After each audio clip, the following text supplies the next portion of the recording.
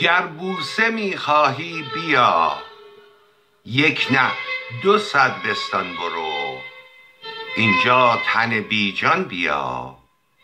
زینجا سراپا جان برو.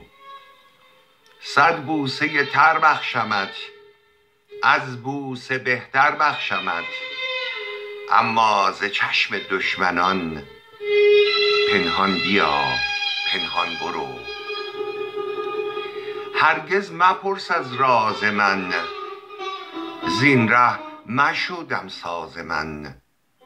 گر مهربان خواهی مرا حیران بیا حیران برو. در پای عشقم جان بده جان چیست بیش از آن بده. گر بنده فرمان بری از جان پی فرمان برو. امشب چو شمع روشنم سر می کشد جان از تنم. جان برون از تن منم. خامش بیا سوزان برو. امشب سراپا مستیم. جام شراب هستیم. سرکش مرا وز کوی من. افتان برو خیزان برو. بنگر که نور حق شدم زیبایی مطلق شدم در چهره سیمین نگر. با جلوه جانان برو بانو سیمین بهبهانی از شعرای بنام و معاصر میهن عزیز با درود و وقت به خیر خدمت یکایک عزیزان و همسفران امیدوارم در هر کجا که هستید و به هر کاری که مشغولید تنی سلامت روانی آرام دلی امیدوار و لبی خندان داشته باشید. در این دور همی فاصله دار قسمت دوازدهم از 25 قسمت آیا خودمحور خودپرست و خودشیفته ایم را از دل نوشته زیر پر فرش به شراکت با شما نازنینان می‌گذارم. اما پیش از پرداختن به آن به سروده زیبا از غلامعلی رعدی آزرخشی شاعر برجسته و ادیب معاصر میهنمان گوش فرا می‌دهیم و پس از خواندن دوازدهمین بخش آیا خودمحور خودپرست و خودشیفته ایم به سروده زیبای دیگری از ناصر روانبخش؟ دیگر شاعر معاصر و محبوب میهنمان گوش می‌کنیم و در انتها ترانه زیبای برگی سویت جان را با صدای گرم و جاودانی خوانندگان بزرگی چون پوران نازنین و ویگن عزیز. میشنویم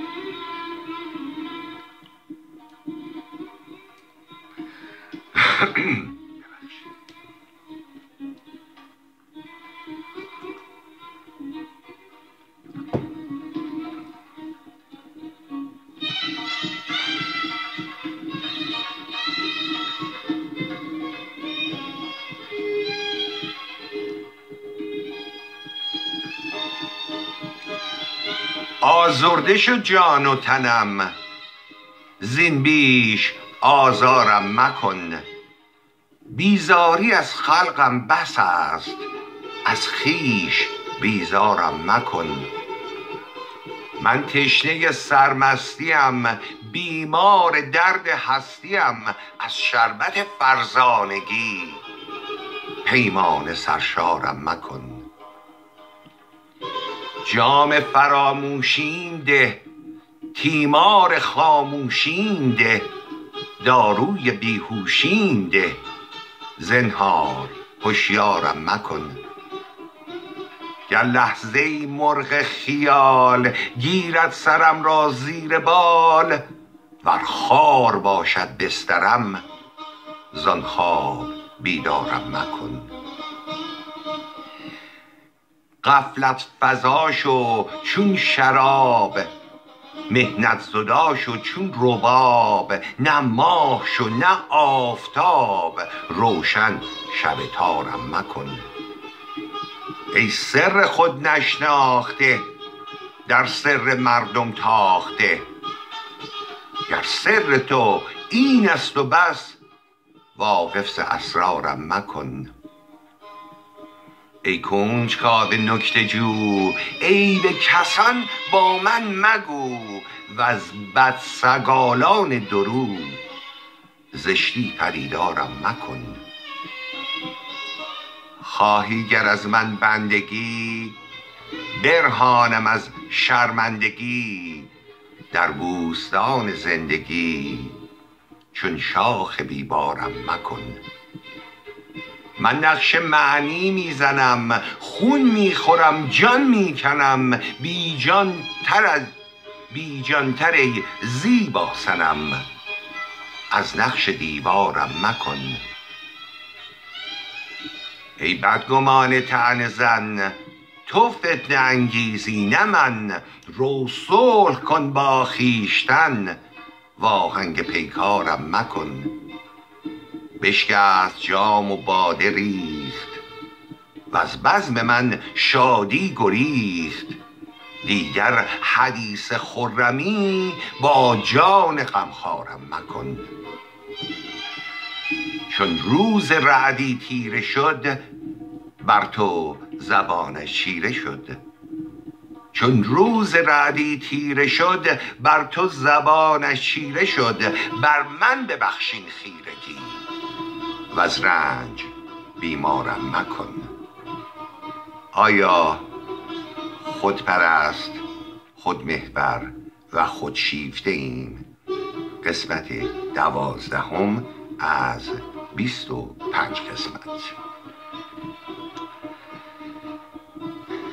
زنده یاد قاسم معصومی نه تحصیلات دانشگاهی دارد و نه حتی به دبیرستان راه یافته.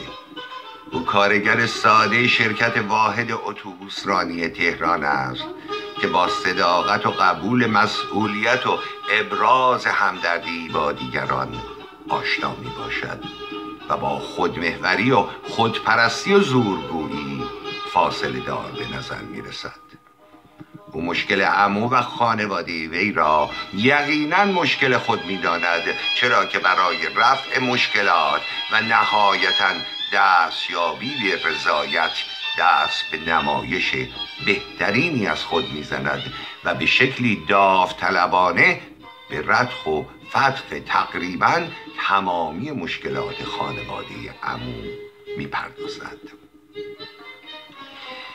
دیدن نمایشی از بزرگی سخاوت همکاری و مساعدت جرقی در ذهن تاهر ایجاد می کند که شعله گرمابخش و امیدوار کنندهش را در تمام دوران زندگی بی توجه به زمان و مکان و میزان فاصله از او به همراه دارد.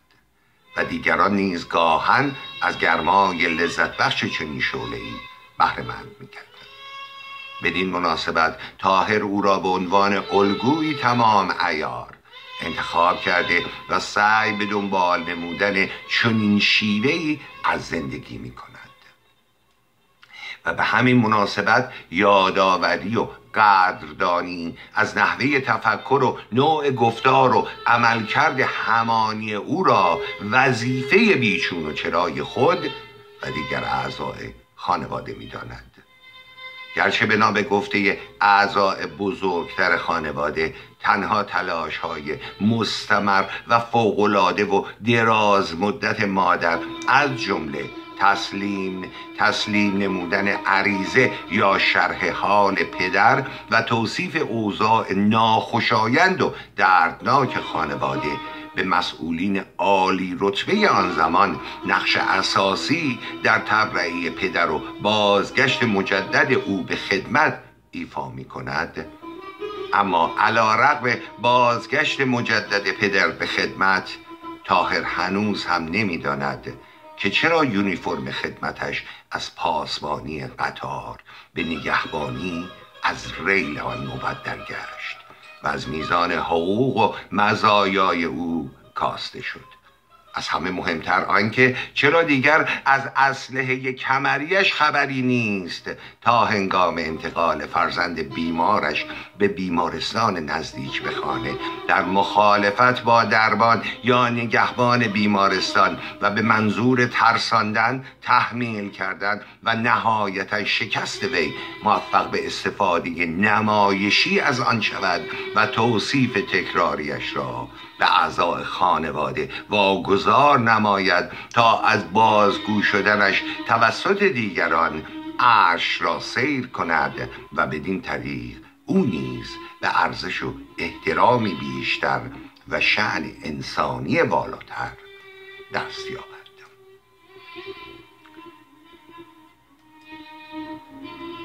تحمل شرایط زندگی برای منصور فرزند ششم و پسر چهارم خانواده که دوران کودکی را میگذراند و مهراب تازه متولد شده به عنوان آخرین فرزند خانواده احتمالا دشوارتر می باشد چرا که آموزش و نحوه پرورش آنان نه تنها متأثر از شیوه زندگی والدین خودپرستشان می شود بلکه تحت تاثیر نحوی تفکر و نوع گفتار و رفتار خواهران و برادران بزرگتر که در مواردی افرادیتر از والدین عمل می کنند قرار می گیرد.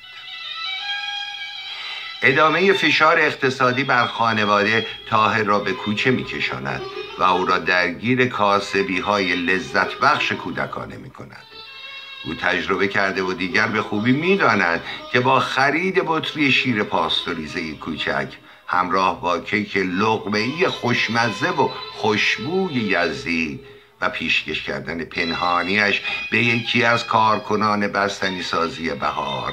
نه تنها می‌تواند تنوع بستنی های مورد علاقهش را بیشتر کند بلکه توانا می شود که تعداد دریافت آنان را به هر میزان که می خواهد بدون پرداخت بها افزایش دهد. به طوری که پس از پر کردن هر دو فلاسک چرخ دستیش شروع به انبار کردن بستنی ها به روی پوشال های اطراف آن می کند و می‌داند که بی توجه به تعداد بستنی های دریافتی که تعداد آنها معمولا از 150 عدد هم تجاوز می کند می تواند رقمی کاملا غیر واقعی از بستنی های دریافت شده را که تعداد آنها هرگز از عدد 20 تجاوز نمی کند. اعلام نماید تا کارگر مسئول با رضایت به دست آمده از شیر و کیک رایگان آن را در دفتر بستنی سازی ثبت نماید.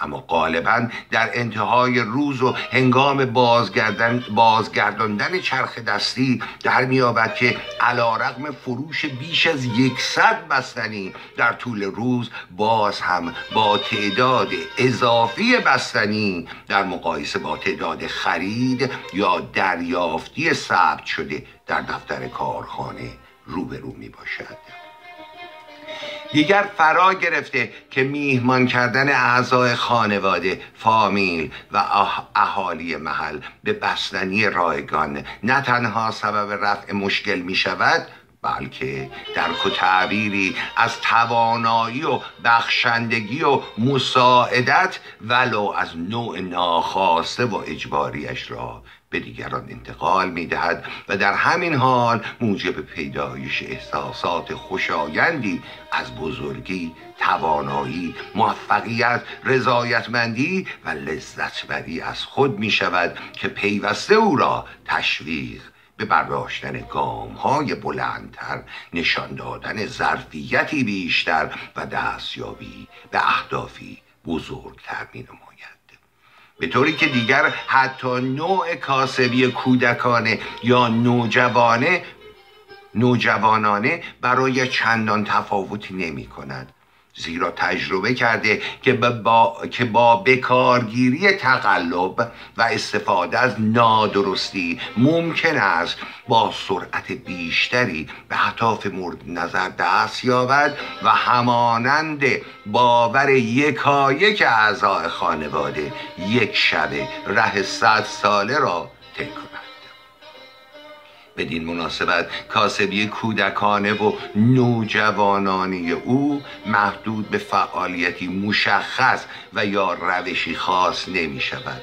از انجام تکالیف متعلق به تعطیلات نوروز همکلاسیان گرفته تا مهیا کردن و فروش شربت یخ در بهشت با یخ رایگان فروش ناعادلانه بلال و شاتوت و گوشویل و گلاب شکر و بامیه تیغ خورده و پنهان شده در زیر شیرش که مبادا خدای ناکرده مشتری سری خر با خوش اقبالی روبرو شود و میزان بیشتری از آن را در مقایسه با پول پرداختی برداشت نماید فروش نان بربری و تخم و مرغ آب پس شده به نام ساندویچ ساندویچ تخم و مرغ در ورزشگاه امجدیه و آزادی تهران. گل یا پوچ قهوه خانه ای و فوتبال گل کوچک. با توپ پلاستیکی از جمله فعالیت های او می باشد که به زعم خودش بیشترین منفعت را در کوتاهترین زمان ممکن فراهم می سازد که نه تنها موجب رضایت هرچه بیشتر از خود می گردد بلکه خوشحالی دیگر اعضای خانواده به خصوص مادر را فراهم می سازد به طوری که اهدای اسکناس پنج تومانی به مادر را از زیباترین دلچسبترین و مهمترین خاطرات زندگیش می‌داند. چرا که نگاه رضایتمندانه مادر از کار انجام شده و هدف به دست آمده چنان احساسی از غرور و افتخار را همراه با انگیزه های توانمند در او ایجاد می کند که پیوسته به دنبال انتهای روز و تکرار لذت بریه از خود می موردی که دیگر اعضای خانواده به هر دلیلی کمترین علاقه ای به پذیرش و تایید آن ندارد شاید استمرار همین فعالیت ها و ادامه همین موفقیت ها موجب پیدایش انگیزه قویتر و خودباوری بیشتر در شهین می گردد تا او هم به صورت پاره وقت و برای مدتی محدود اقدام به آموزش محصلین غالبا بالغ مدرسه پیکار با بیسوادی سر پل جوادیه تهران نماید و کلیه محصلین مدرسه را همچون مادر بیسوادش توانا به نوشتن نام و نام خانوادگی خود نماید. و بدین طریق بر اوضاع ناخوب اقتصادی خانواده نیز کمک کند. اصرار و پافشاری مستقیم و غیر مستقیم والدین. در بکارگیری و ادامه چنین روشی از زندگی در روابط با دیگران برای دستیابی به موفقیت های متفاوت اما کوچک و مقطعی و نشان دادن چهره بهتر و برتر اما غیر همانی دیگر فرصتی برای فرزندان باقی نمی‌گذارد تا دریابند که ساختار یا اساس روابط ما بین خودشان نیست در آینده نه چند دور و به مجرد دستیابی به استقلال ظاهری و در اختیار گرفتن خانواده های خود و فراهم شدن فضایی جدید از زندگی که در آن کودکان دیروز تبدیل به والدین امروز می شوند متأثر از همین روش تربیتی و آموخته ها می شود و آنان نیز به همان شیوه دست به تلاش برای انتقال همین آموخته ها و اعتقادات چه به صورت دانسته و عمدی و چه به شکل ناآگاهانه و غیر عمد به کودکان دلبند و آیندگانشان می‌زنند چرا که تمام افراد خانواده از روابط ناسالم مبتنی بر خودمهوری و دگرفریبی با بستگان دور و نزدیک به خوبی آگاهند.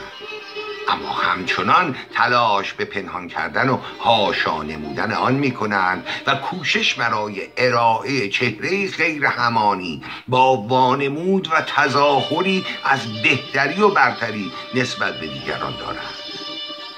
شاید فشار و رنج ناشی از روابط بیمارگونه پدر و عمو مادر و زنمو و نهایتا فرزندان هر دو خانواده موجب می شود تا قادر به پیشنهاد تاهر در کوچه وزیری جواب مثبت دهد و با او هم پیمان شود که تمامی تلاشش را برای ایجاد و نگهداری روابطی کاملا متفاوت با آنان در بزرگسالی به کار گیرد.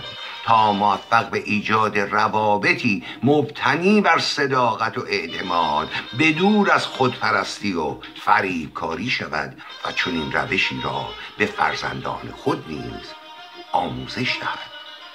زهی خیال باطل.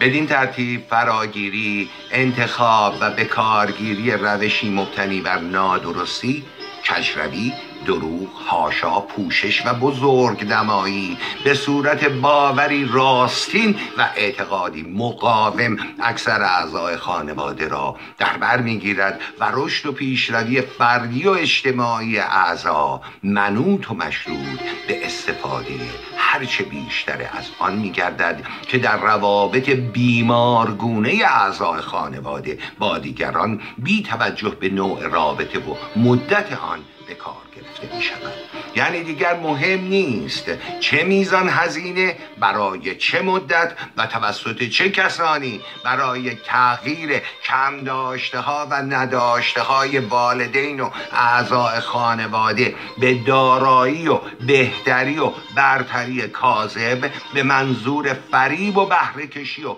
سوء استفاده از دیگران پرداخت می شود تا اعضای خانواده موفق به تحمیل نظر و دستیابی به اهداف خودپرستانه ایشان شود.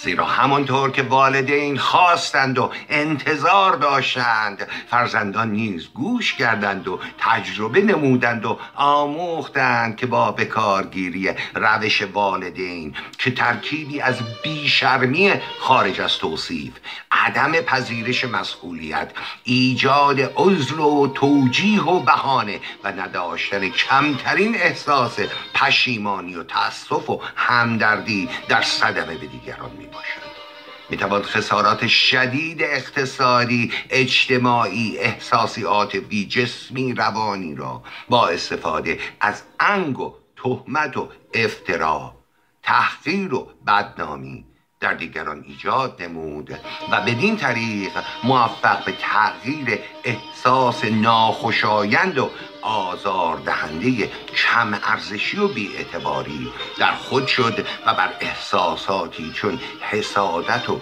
دشمنی و تنفر نسبت به دیگران و داشته های آنان نقاب زد و با تحمیلی از توانایی ها و جذابیت ها و داشته های دروغین خود به ارزش و اهمیت و احترام دلخواه و مورد نیاز دست یافت.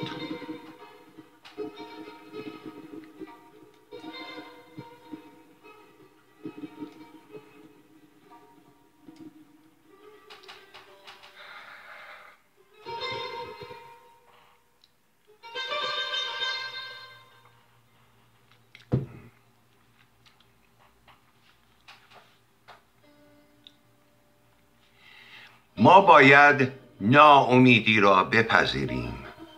اما هرگز نباید امید خود را از دست بدهیم.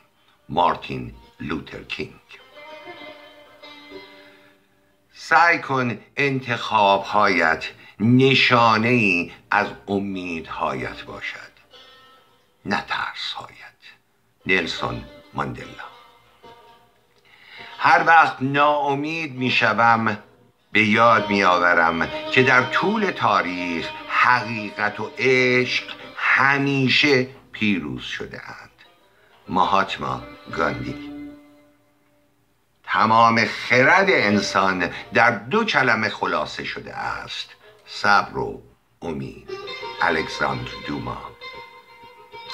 این هم ده فرمان زندگی انسانی و بشر دوستانه منتظر باش اما متوقف نباش.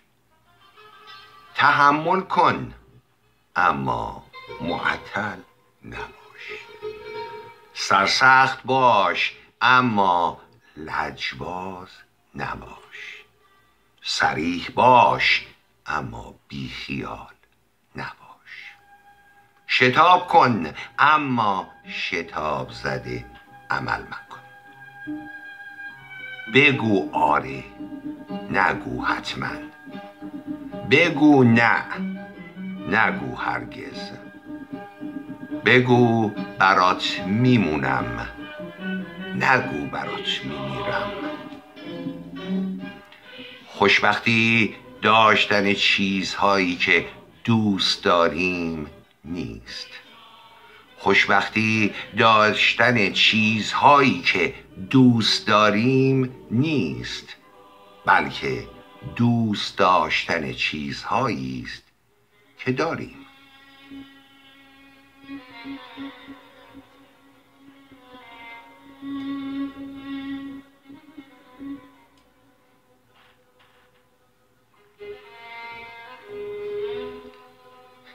امشب دلا دیوانگی ها می کنم من. امشب دلا دیوانگی ها می کنم من. خود را به هر میخانه رسوا می کنم من. از دست غمها جامه بر تن می درانم و از اشک حسرت دیده دریا می کنم من. امشب غم فردای ناپیدا ندارم. فردا چو آید فکر فردا می کنم من. آزرده شد جان من از قوقای هستی. آرامش از مستی تمنا می کنم من. امشب در این میخانه نقش آرزو را امشب در این میخانه نقش آرزو را در دیده مینا تماشا می کنم من. گم کرده ایام جوانی را به جامی در پای خم مستانه پیدا می کنم من. سر در گریبان می‌برم و از همت اشک غمهای دیرین را ز سروا می کنم من. ای غم که دست از جان ناشادم نداری امشب تو را با باده سودا می کنم من. پروردم در سینه دل را روزگاری عمریست با دشمن مدارا می کنم من. پیداست داغ عشق جانان بر جبینم. پیداست داغ عشق جانان بر جبینم. بیهوده عشق خیش هاشا می کنم من.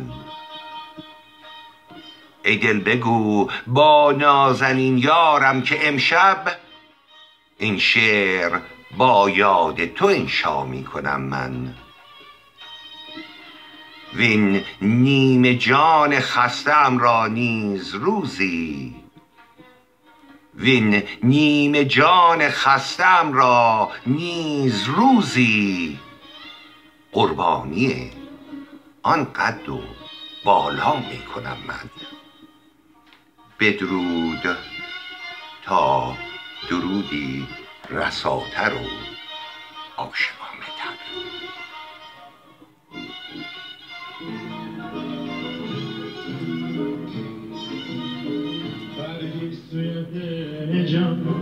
رمز غزل شاهه. چون در چین و شکنش داره. دل من کاشانه چون در چین شکل هش داره. دل من کاشانه بکشاز مویت گره جنبیمم تا بکشایی گره دل